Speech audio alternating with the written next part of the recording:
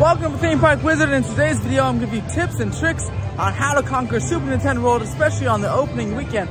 What you should do first, what um, you should do last, and uh, what might have the longest line. So let's get all into it right now.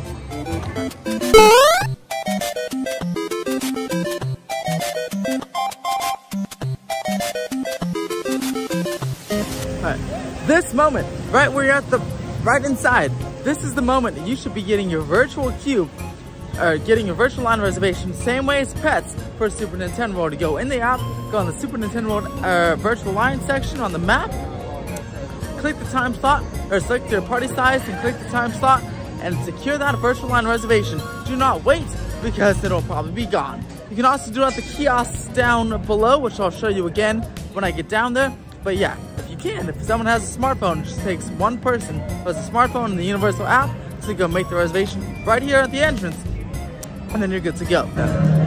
The kiosks, if you hear, are right behind me, right behind the Transformers. Those kiosks is where you can get the uh, virtual line physically for Nintendo.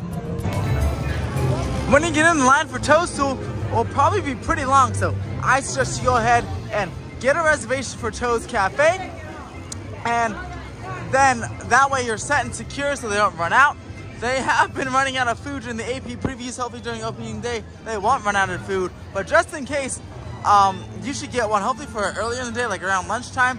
If you get one in the evening, it seems that I can't promise you food will be there, but I'm sure they'll figure out that food problem during uh, their, these technical rehearsals. That's what they're for, figure out how much food you need and everything, and how to run the operations. But yeah, definitely come get that Toad's Cafe um, reservation, because the line, sometimes I've seen snake all the way over to those toadstools over there. Next up, Mario Kart is probably what you're gonna wanna do next, because that after your reservation, because this line's 30 minutes and it's not even, um, it's pretty, you know, empty right now. It's likely this is actually half the time, probably about 15 minutes or a walk-on, but still, it uh, this can be quite long, up to 100 minutes, and use the upstairs queue.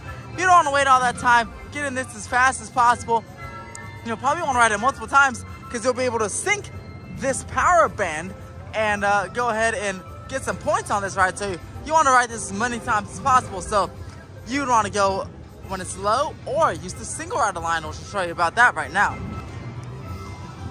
All right, next up, buy a power band. You can get a power band at the vending machines, which I'll show you right now, or the One Up Factory. But yeah, you're need a power band to have a hundred times more fun in this land than if you didn't. You have fun without one, but getting a power band and looking at all your stats in the app, even that much, just that much better.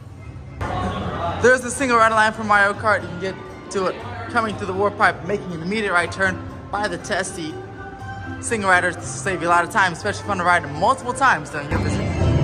When you're done with Mario Kart and Toads, now it's time to do the interactive elements. Because these have no line.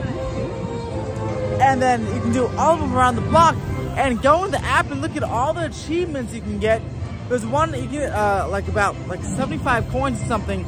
You punch every single block in the land, upstairs and downstairs, so definitely want to go find those out. You can spend all day in here doing their achievements if you really want to. But yeah, after Mario Kart and Toads, those are the two things with the longest lines. Do the meet and greets behind me and the interactive elements and the games because all those will have short lines. All right, so I ran into my subscriber friend, Alonzo, and he's gonna tell us what he thinks of Nintendo. What do you think, Alonzo? Uh, well, so far I've been fucking, I've been loving it. Uh, I, I've been enjoying uh, Mario Kart. I try to get the highest scores. Sometimes it's hard. It's like, uh, but uh, how do I say it? Uh, just been enjoying the land. The land's amazing. It looks great. Highly recommend it. Highly recommend it. Definitely come What through. What would you rate it? Uh, a solid 8.5 out of 10. Best land at Universal Hollywood? Best land. That's right. Now, what do you think about some of these things? Come, come. What do you think about that?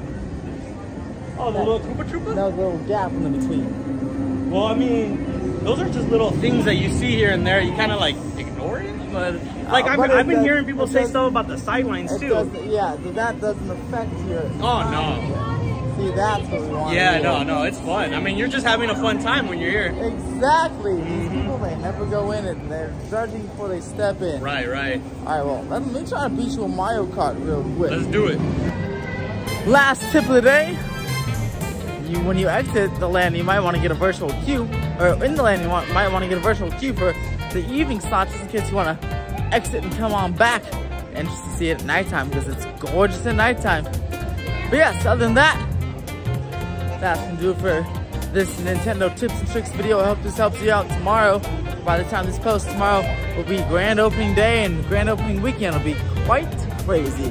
I cannot wait for that. I'll be there after work in the afternoon and I want might be there every single day on the weekend just to check out, see what's going on. If you like this video, press that thumbs up, subscribe for more theme park updates, and as always, have a fantastic day.